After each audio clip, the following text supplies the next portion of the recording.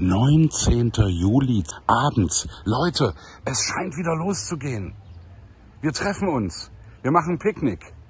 In der Weltmetropole Klausen in Rheinland-Pfalz. Wir lesen, wir singen, wir essen, wir trinken.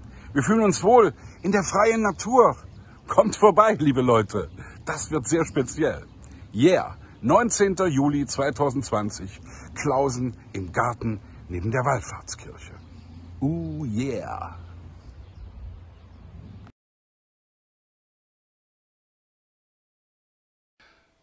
Unterhaltung. Irgendwann habe ich entdeckt oder vielleicht auch nur für mich selbst festgestellt, dass in diesem Wort das Wort Haltung steckt. Und wenn ich solo unterwegs bin, solo am Piano, benutze ich diese kleine Bühne auch, um eine Art Haltung zu zeigen, ohne belehrend sein zu wollen, was echt eine Gratwanderung ist. Irgendwann haben mir ein paar Freunde, die in einem Konzert waren, gesagt, die Geschichten, die du zwischendurch erzählst, schreib die doch einfach mal auf.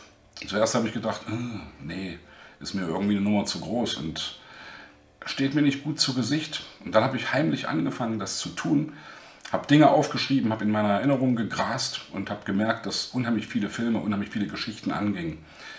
Wie gesagt, die habe ich aufgeschrieben, da ist ein Buch draus geworden und dieses Buch heißt Courage zeigen, warum ein Leben mit Haltung gut tut. Ich finde es gut und hoffe.